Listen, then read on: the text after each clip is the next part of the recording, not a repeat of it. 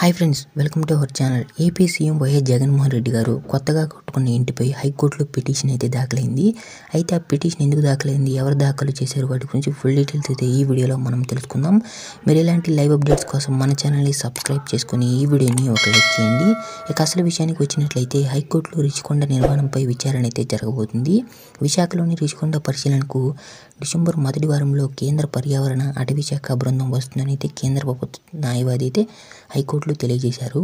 అక్కడ పరిస్థితిని అధ్యయనం చేశాకే నివేదికను పూర్తిగా సమర్పిస్తామని అయితే తెలియజేశారు న్యాయవాది. రిషికొండను అక్రమంగా తవ్వి నిర్మాణాలు చేస్తున్నారని TDP MLA Ramakrishna Babu Janasena corporator హైకోర్టులో అప్పీల్ అయితే చేశారు.